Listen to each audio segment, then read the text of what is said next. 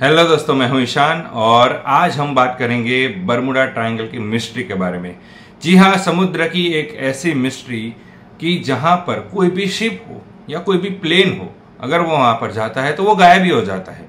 यानी कि वहाँ पर जब भी कोई प्लेन या शिप जाता है तो उसका कंपास काम करना बंद कर देता है, फिर उससे संपर्क टूट जाता है और फिर वो गायब ही हो जाता है। उसका ना तो कोई पार्ट्स मिलता है, ना कुछ भी, कोई भी इंसान भी, कोई खबर नहीं होती है और वो एक बार वहाँ पर जाता है, फिर कभी भी वहाँ से वापिस ही नहीं आता है, या तो कोई खबर ही नहीं मिलती है।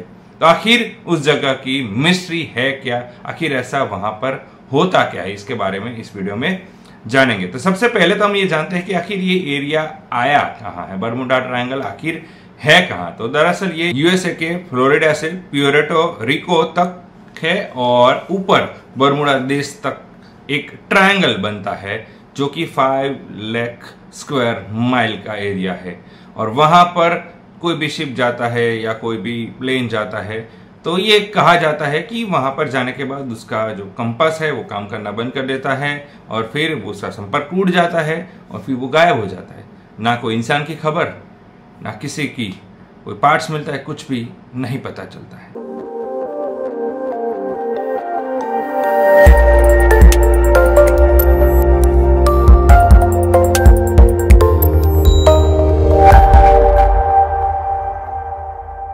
इस जगह के बहुत सारे अलग अलग नाम दिए गए हैं, जैसे कि graveyard of Atlantic Sargasso graveyard sea of doom devil triangle Bermuda triangle तो ये बर्मुडा ट्रायंगल आखिर इसका नाम कैसे पड़ा? तो दरअसल बात यह है कि 1964 में एक मैगजीन है एरिस्टो नाम की, जिसके राइटर एक राइटर है विंसेंट एडिसन ने एक आर्टिकल लिखा था। और उस आर्टिकल का नाम उन्होंने दिया था द डेडली बर्मुडा ट्रायंगल दरअसल उन्होंने एक आर्टिकल इस आर्टिकल के अंदर, जो बर्मुडा ट्रायंगल के अंदर जितने भी इंसिडेंट हुए हैं, उस सभी इंसिडेंट के समराइज लिखने की कोशिश की थी और एक दूसरे से क्या कनेक्शन कोई बनता है, वो समझने की कोशिश की थी और सारे इंसिडेंट का एक कंक्लूजन निकालने की कोशिश की थी और उस आर्टिकल का नाम था द डेडली बर्मुडा ट्रायंगल, तब से इस जगह को बर्मुडा ट्रायंगल कहा जाता है। इस एरिया के ऊपर, इस बर्मुडा ट्रायंगल के नाम पर कई फ़िल्में बनी है, बहुत सारी बुक्स लिखी गई है, कई गेम्स बनी है। शायद ही किसी और टॉपिक के ऊपर इतनी बुक्स बनी हो, इतनी फ़िल्म बनी हो, इतनी बुक्स लिखी गई हो या फिर गेम बनी हो। तो ये एक फिर इसके बाद तो इसकी कॉन्स्पिरेसी थियरी लगातार सुनने को मिलने लगी। अब बर्मुडा ट्रायंगल से रिलेटेड कुछ फ़ेमस इंसिडेंट के बारे में बात करें तो 1945 में यूएस नेवी का पाँच बोम्बार्ड विमान का एक रेगुलर मिशन था, जिसका नाम फ़्लाइट 19 था। उसके बारे में बात करें तो दरअसल वो फ्लोरिडा से टेक ऑफ़ होता है। पाँच दिसंबर को दो बजकर दस मिनट के ऊपर। फिर अठारह घंटे का एक रूटीन मिशन था रेगुलर मिशन था, कुछ स्पेशल मिशन नहीं था, चौदह क्रू मेंबर थे। और उनको फिर वो फ्लोरिडा से ईस्ट की ओर जाते हैं। सब कुछ नॉर्मल था वेदर भी नॉर्मल था और मिशन भी नॉर्मल था, लेकिन दो घंटे के बाद जो एक विमान के अंदर टेक्निकल खामी शुरू हो जाती है, उसका कंपास काम करना बंद कर देता है। जब उसके बाद lieutenant colonel Charles Carroll Taylor ने अपना बैकअप कंपास निकाला, लेकिन वो भी काम नहीं कर रहा था। फिर उन्होंने दूसरे पायलट से भी पूछा तो उनका भी सिस्टम यही था उनका भी सिस्टम काम नहीं कर रहा था। फिर उन्होंने एक मैसेज छोड़ा जो कि था both my compasses are out and I am trying to find Fort Lauderdale Florida I am over land but it's broken I am sure I am in the keys but I don't know how far down and I don't know how to get to Fort Lauderdale इस message के बाद शाम को सात बजे Taylor ने दूसरा और आखिरी एक मैसेज छोड़ा जो कि था All planes close up tight. We'll have to ditch unless landfall. We all go down together. इस मैसेज के बाद ये पाँच विमान फ़्लाइट 19 के साथ क्या हुआ कोई पता नहीं उनका प्लेन किस पाँच में से कोई प्लेन की कोई खबर नहीं कोई इंसान की कोई खबर नहीं कहाँ गए क्या हुआ कोई पार्ट्स तक नहीं मिला उसके बाद उसे ढूँढने के लिए सर्च एंड मरीन एयरक्राफ्ट ने तेरह लोगों का एक और विमान उन्हें ढूँढने के लिए भेजा। वो भी गायब। उसका भी कोई पता नहीं चला। यानी कि फ़्लाइट 19 के पाँच विमान, वो भी बरमुडा ट्रायंगल के आसपास गए और वहाँ से गायब हो गए। और उन्हें ढूँढने के लिए जो प्लेन गया, जो मरीन एयरक्राफ्ट गया, वो भी गायब। दूसरी मिस्ट्री के बारे में बात करें, जो कि एलन ऑस्टिन मिस्ट्री के नाम से जानी जाती है। जो कि 1881 में हुई थी, जो कि एक शिप थी, जो लंदन से न्यूयॉर्क जा रही थी। उस समय लंदन से न्यूयॉर्क आमतौर पर काफ़ी शिप जाती थी। तो उस, जब वो एलन ऑस्टिन शिप लंदन से न्यूयॉर्क जा रही थी तो फिर उन्हें, उनको रास्ते में, इस बरमुडा ट्रायंगल के आसपास के एरिया में एक शिप दिखा, जो कि अनआइडेंटिफाइड था। उन्होंने उस शिप से, उस कैप्टन ने उस शिप से कांटेक्ट करने की कोशिश की। दो दिन तक तो कांटेक्ट करने की कोशिश की, लेकिन कोई जवाब नहीं मिला, कोई मैसेज नहीं मिला शिप थे फिर उन्होंने सोचा कि वो खुद उस शिप पर जाकर कुछ फाइंड आउट करना चाहेंगे। फिर वो उस शिप पर गए। जब उन्होंने वहाँ पर जाकर देखा तो शिप में बहुत सारा सामान था, लेकिन कुछ भी अस्त व्यस्त नहीं था। यानी कि कोई लूटफाट या कोई पायरेट्स आकर उसे लूट गए हो या कोई कोई घटना घटी हो, ऐसा कुछ भी नहीं था। वहाँ पर वो शिप था, वो पूरी तरीके से एकदम प्रॉपर था, सामान भी जहाँ पर होना चाहिए, सही जगह पर था। लेकिन आश्चर्य की बात यह है कि उस शिप के ऊपर कोई इंसान ही नहीं था, कोई इंसान मिला ही नहीं, कुछ भी कोई इंसान नहीं थे। फिर उन्होंने ये सोचा कि उनके कुछ क्रू मेंबर है, उनको इस शिप पर लाया जाए और फिर दोनों शिप को लेकर आगे चला जाए। फिर उन्होंने वही किया। कुछ क्रू मेंबर को उस शिप में उतारा और फिर दोनों शिप्स को लेकर वो आगे बढ़े।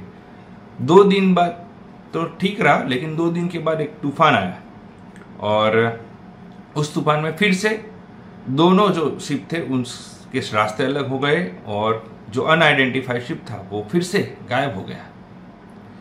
और फिर जब तूफ़ान शांत हुआ तो फिर एलन ऑस्टिन जो कैप्टन थे, उस, उन्होंने उस शिप को ढूँढने की कोशिश की अनआइडेंटिफाइड फिर से वो दिखा, बहुत दूर दिखा, वो दिखा, फिर वो उनके पास नज़दीक गए। तो फिर से वही सिचुएशन कि सामान में कोई अस्त नहीं थी, लेकिन उन्होंने जो क्रू मेंबर वहाँ पर उनके भेजे थे, वो भी गायब थे। और फिर उन्होंने दोबारा और कुछ क्रू मेंबर को उस शिप में भेजा और फिर उससे वो आगे निकलना शुरू किए और सेम स्टोरी उनके साथ फिर से हुई। तो ये एलन ऑस्टिन मिस्ट्री है कि इस तरीके की उनके साथ घटना हुई थी जो कि बरमुडा ट्रायंगल। अब ये जो स्टोरी बताई आपको, इसमें कितनी सच्चाई है, कितनी नहीं है, कोई एविडेंस प्रूफ के साथ नहीं कह सकते हैं, क्योंकि इसका कोई एविडेंस नहीं मिला है कि इसमें सच्चाई है, नहीं है, क्या है, कुछ भी पता नहीं चलता है। इसके कारण कई लोग क्या कहते हैं कि ये जो बरमुडा ट्रायंगल है, उसके ऊपर ऐसा कहने लगते हैं कि यहाँ पर एलियन आते हैं और सारी चीज़ों को गायब कर देते हैं, अपने पास ले जाते हैं। कुछ लोग ये कहते हैं कि यहाँ पर बहुत बड़ा सी मॉन्स्टर है जो अपने अंदर सब कुछ संभाल लेता है, जिसके कारण कुछ भी नहीं मिलता है, गायब रहता है।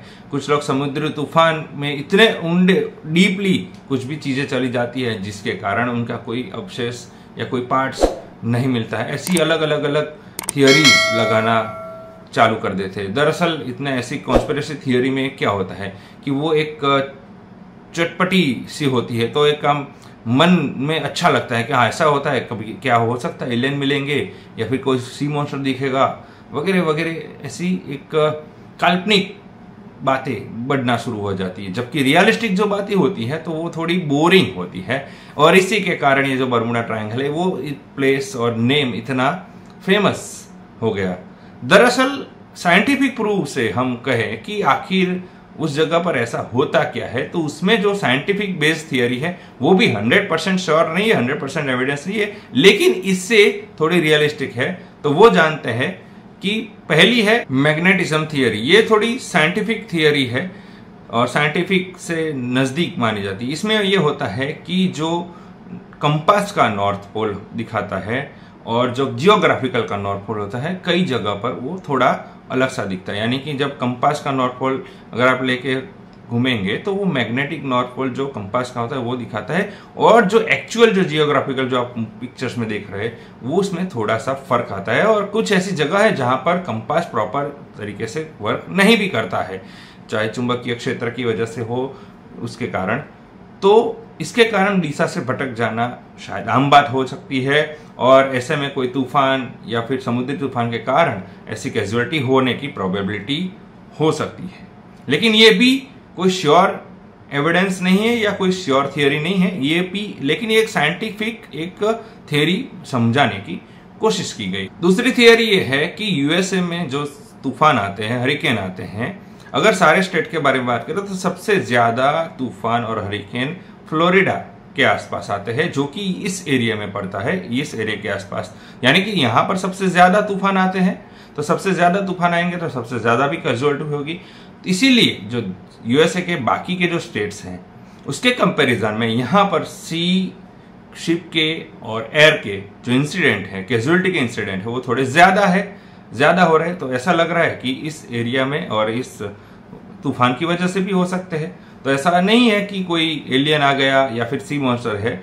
बार बार हरिकेन इस जगह पर ज़्यादा आ रहा है तो ज़्यादा कैजुअलिटी हो रही तो ये भी एक हो सकता है कि तूफ़ान के कारण और इस एरिया में ज़्यादा हरिकेन आते हैं तो ज़्यादा कैजुअलिटी हो रही है तो ये भी एक पॉसिबिलिटी हो सकती है। तीसरी पॉसिबिलिटी के बारे में बात करें तो मिथेन हाइड्रेट का एक्सपेरिमेंट और थियोरी के बारे में बात करें तो कुछ समुद्र में ऐसी जगह होती है जिस फ़ील्ड के ऊपर मिथेन हाइड्रेट ज़्यादा पाए जाते हैं। ऑस्ट्रेलिया के एक साइंटिफिक एक्सपेरिमेंट में किया और उन्होंने ये पाया कि मीथेन के बबल जो होते हैं और पानी में मीथेन के बबल एक मात्रा से ज़्यादा हो जाते हैं तो पानी की डेंसिटी कम हो जाती है और जहाज़ की बोएंसीज होती है, वो मेंटेन नहीं हो पाती है और जिसके कारण जहाज़ डूब जाता है। तो देखिए ये भी एक साइंटिफिक एक्सपेरिमेंट है और एक थियरी है। ये कोई प्योर एविडेंस नहीं है कि वहाँ पर जब जहाज़ जाते हैं तो वहाँ पर मिथेन की मात्रा पाई जाती है जिसके कारण ऐसा होने से जहा, सारे जहाज़ डूब जाते हैं ऐसा एविडेंस नहीं है लेकिन एक प्रोबेबिलिटी बताई। चौथी एक थियरी यानी कि एक बर्डन मायर इफ़ेक्ट के बारे में बात करें वो थोड़ा साइंटिफिकली ज़्यादा कन्वीनियंट लगता है, ज़्यादा नज़दीक लगता है इस बर्डमोडा ट्राइंगल थियरी के पास। दरअसल वो है बर्डन मायर थियरी ये होती है कि अगर कोई चीज़ पहले भी एग्जिस्ट करती थी, आज भी एग्जिस्ट करती है इन फ्यूचर में भी एग्जिस्ट करेगी, लेकिन जब आप उसे नोटिस करते हो तो आपको ज़्यादा दिखती है। यानी कि आप मान लीजिए कि अगर आपने कोई, जैसे कॉफ़ी शर्ट पहना है तो आप बाहर जाएँगे अब लोगों को देखेंगे तो कहीं ना कहीं इसी कलर के आसपास या इसी कलर के ही ज़्यादातर शर्ट वाले आपको दिखेंगे या कोई टी शर्ट वाला दिखेगा।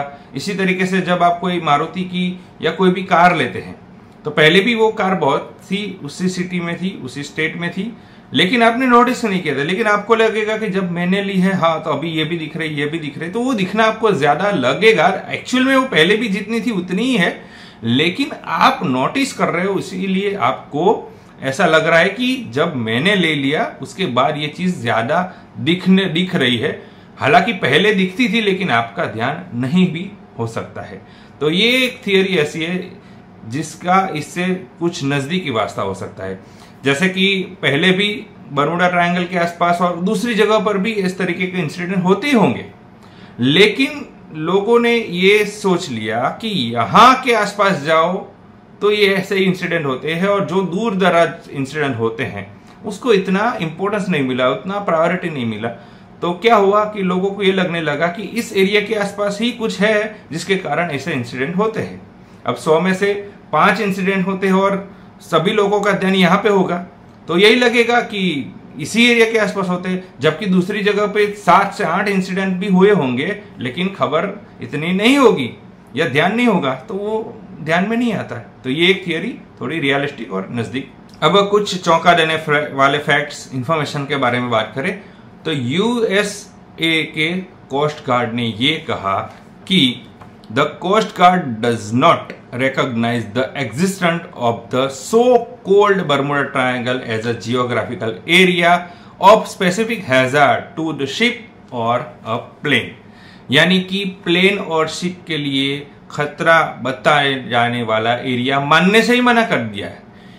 दरअसल US coast guard coast guard का यह कहना है कि ये एरिया हेविली ट्रैफ़िक है, यानी कि ज़्यादा शिप्स आते जाते हैं, ज़्यादा प्लेन आ जाता है, जिसके कारण कहीं ना कहीं अगर कैजुअलिटी अगर ज़्यादा होती है एक्सीडेंट ज़्यादा होते हैं तो कंपैरिजन दूसरे एरिया के कंपैरिजन में आपको ऐसा लगेगा कि यहाँ पे ज़्यादा हो रहा है। दरअसल ये हैविली ट्रैफ़िक है तो आज आज एक रोड है, उसके ऊपर 100 व्हीकल जा रहे हैं और दूसरा एक रोड है, जिसके ऊपर पाँच व्हीकल जा रहे तो सौ वाले में अगर छह भी एक्सीडेंट होते हैं तो भी लोगों को लगे ओ छह हो गया और वहाँ पर पाँच में से एक भी नहीं हुआ। तो ये ट्रैफ़िक ज़्यादा है तो ज़्यादा हो गए ना, कम है तो कम होंगे। तो यूएस कोस्ट गार्ड का ये कहना है कि ये एरिया पे हैवीली ट्रैफ़िक है और ये शिप और प्लेन के लिए मतलब खतरा बताने वाला एरिया वो मानने को ही तैयार दूसरे फैक्ट के बारे में बात करूँ तो 2013 में WWF ने एक स्टेट निकाला कि world 10 most dangerous bodies of water for shipping का जब स्टेट निकाला गया तो टॉप टेन के अंदर बडमुडा ट्रायंगल नहीं है। यानी कि टॉप टेन के अंदर इसका नाम ही नहीं आता मोस्ट डेंजरस जो वाटर बॉडीज ऑफ़ वाटर है फॉर शिपिंग में। इससे ज़्यादा डेंजरस तो कई और जगह पर है।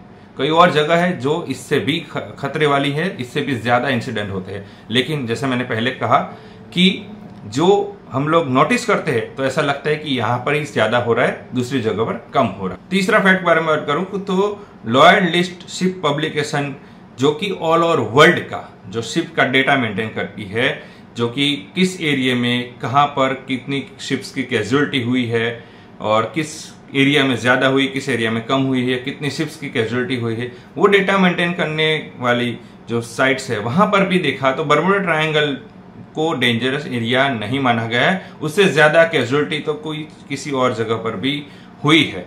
तो आप इन तीनों चीज़ों से और भी आप नेट पर सर्च कर सकते हैं वेरीफाई कर सकते हैं।